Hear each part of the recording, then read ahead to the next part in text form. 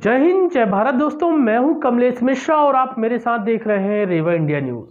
तो चलिए देखते हैं आज की यह खबर। एक साथ, एक समय व एक स्थान पर बैठकर संवाद करते हुए सकारात्मक विचारों को प्रचारित कर, संगठन को मज़बूत करने की दिशा में भाजपा द्वारा कार्यकर्ताओं को प्रशिक्षण का वर्ग आयोजन किया जा रहा है।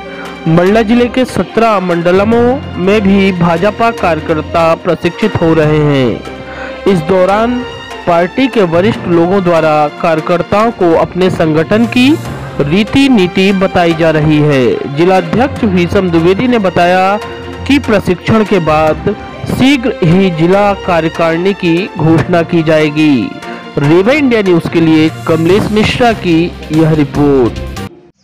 भारतीय जनता पार्टी के पूरे प्रदेश में एक प्रशिक्षण वर्ग चल रहा है कार्यकर्ताओं का। ये समय समय में भारतीय जनता पार्टी के द्वारा प्रशिक्षण शिविर लगाए जाते हैं।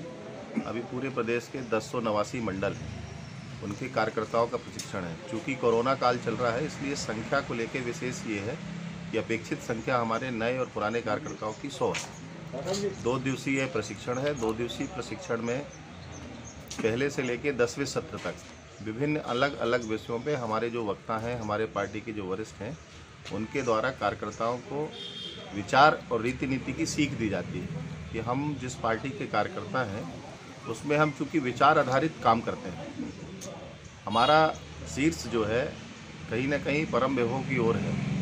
तो हमारा कार्यकर्ता सुसज्जित हो, सीखा हुआ हो, उसके विचार अच्छे हों पार्टी की रीति नीति जानता हो, इस बात को लेके ये प्रशिक्षण चल रहा है। मैं सत्रह हमारे मंडल हैं, उनतीस उनतीस नवंबर से ये प्रशिक्षण शिविर चालू हुए हैं और लगातार चल रहे हैं, अभी तक नौ हो गए हैं और बाकी हमारे आठ और बच्चे हैं। तकरीबन संख्या होगी, सौ मैंने आपको बताया कि जो अपेक्षित संख्या है तो सत्रह मंडल हैं तो स्वाभाविक है कि सत्रह सौ हमारे कार्यकर्ता प्रशिक्षण के उसमें आ रहे हैं।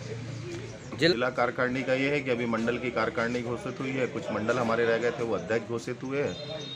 और प्रशिक्षण के जस्ट बाद एक हफ़्ते के अंदर हम अपनी कार्यकारिणी घोषित करेंगे जलेबी अगर अभी तक आपने मेरे चैनल को सब्सक्राइब नहीं किया है तो प्लीज़ उसे सब्सक्राइब कर लें।